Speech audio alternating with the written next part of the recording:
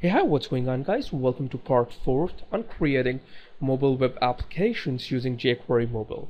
So guys, in this particular video, we're gonna build one more class that actually gonna take care of all of our surveys. So guys, before we get started creating the class or before we get started writing any functions, let's go ahead and actually read the comments that I received on the website at the time I got this particular request. So guys, this is a very huge conversation. If you want, you can read it uh, by searching for, uh, I would say, an article called CRUD Management Training. And out there on the bottom, you're gonna, you know, find this entire conversation. So guys, out here, you know, I have been told what this actual survey form gonna contain. So here it says it's, it's actually gonna be like a checklist where we're gonna have an inspector name so we can probably you know put it dynamically uh, every time a user gonna log in we're gonna have their credentials so we can you know actually pre-fill this particular field. Uh, the next thing gonna be you know whether a shop have been inspected or not so for that we're gonna have you know a kind of an input select box or we can have a checkbox that actually are I would say choice uh, the next thing gonna be you know an issues found or not. So let me do one thing. Let me open a notepad out here. So I'm gonna say uh, we need to capture the username. Uh, we need to find out inspected okay whether it's true or false. Uh, the next thing I'm gonna say uh, issues found yes or no. And if they have been found we're gonna you know have a kind of a text area to leave any comments so guys and the final thing was you know uh, taking uh, I would say uh, you know pictures from the mobile camera. So I would say it's not possible with plain jQuery mobile. We can do it quite easily with PhoneGap but uh, you know that actually gonna you know uh, divert your entire I would say attention away from jQuery mobile. So I'm not gonna do anything with images for now. So I would say these are the only four I would say things that we require in order to set up our survey form. So I'm gonna close this particular tab. Uh, I'm gonna go back to the core folder here. I'm gonna create one more class. I'm gonna say class called manage uh, survey let's say. Okay that would be fine. Survey.php uh, here I'm gonna say PHP I'm gonna say class called manage survey like this. Uh, guys inside it I'm gonna copy it. So I'm gonna copy the construct function with our protected variable called dollar length like this. Guys next thing I'm gonna do is I'm gonna say function. Uh, let's say add survey. And with it we need the person who actually took the survey. Uh, then we need inspected. Uh, inspected out here. Then I'm gonna say issues and then I'm gonna say dollar and they're gonna be let's say a kind of comments here.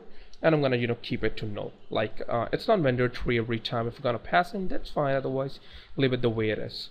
So and guys here uh, I'm gonna say dollar query gonna be equal to dollar this link prepare. Like again guys we are inserting something so we're gonna you know use the prepare statements.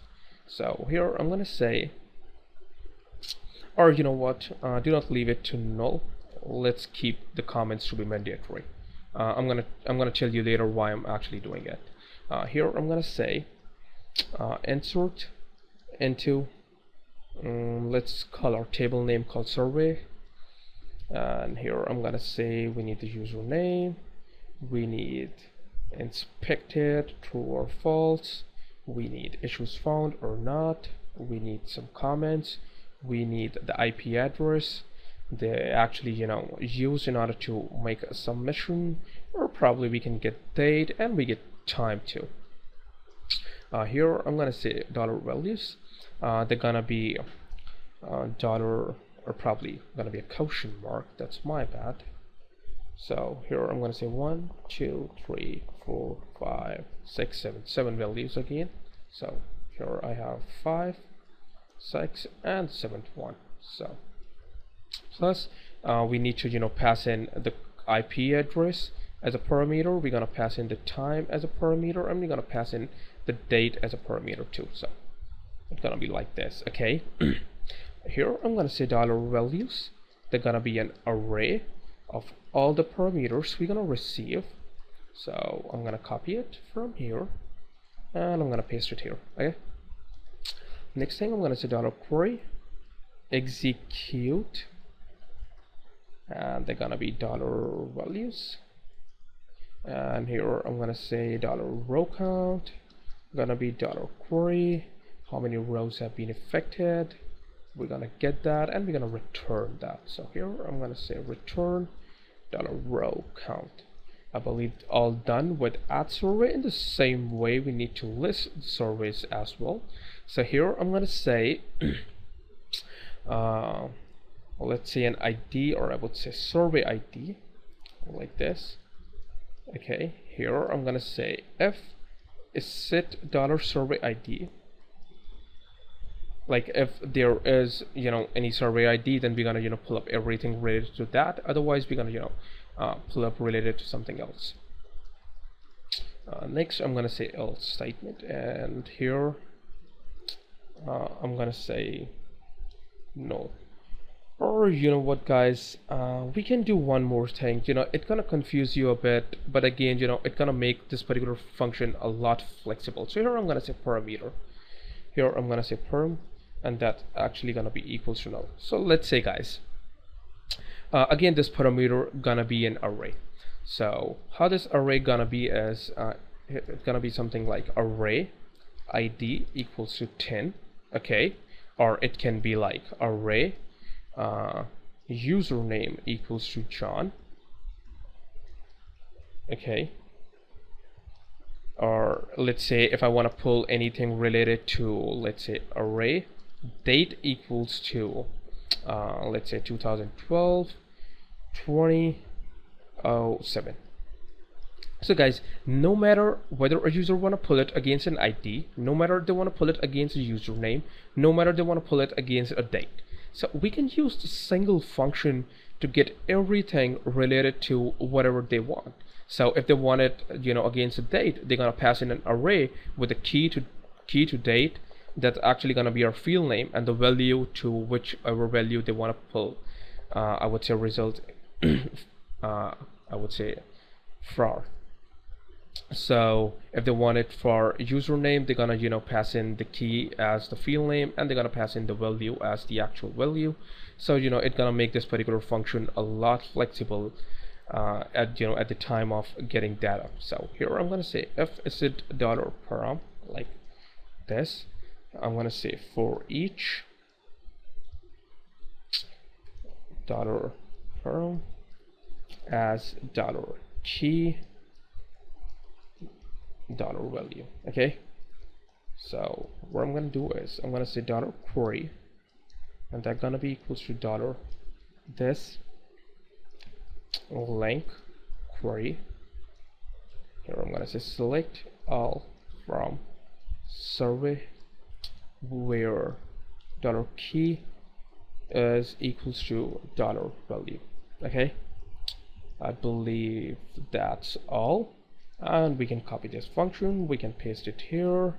We can remove the where clause. Here I can say order by id descending. And we can also do the same thing out here on the top. Like you know show uh, the latest one on the top every time. So like here.